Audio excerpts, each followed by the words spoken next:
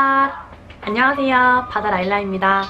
오늘은 다소 오래된 2년 전인 2017년 5월달에 탑승한 이집트항공 비즈니스 클래스 이야기를 짧게 나눠드리려고 합니다. 그 당시 제가 탑승한 구간은 쿠웨이트, 카이로, 카이로, 후르가다 구간이고요. 그 당시에는 제가 브이로그 할 생각을 잘 하지 못해서 사진 자료밖에 없어요.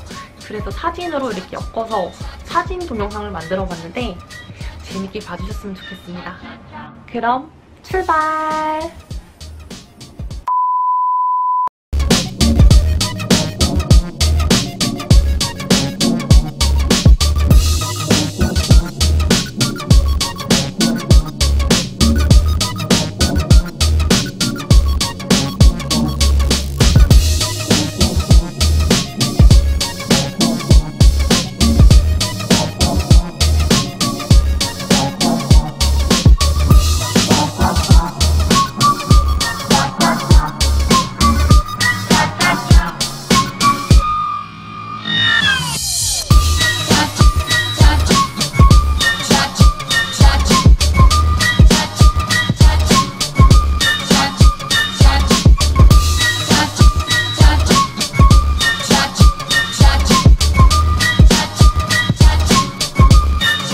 当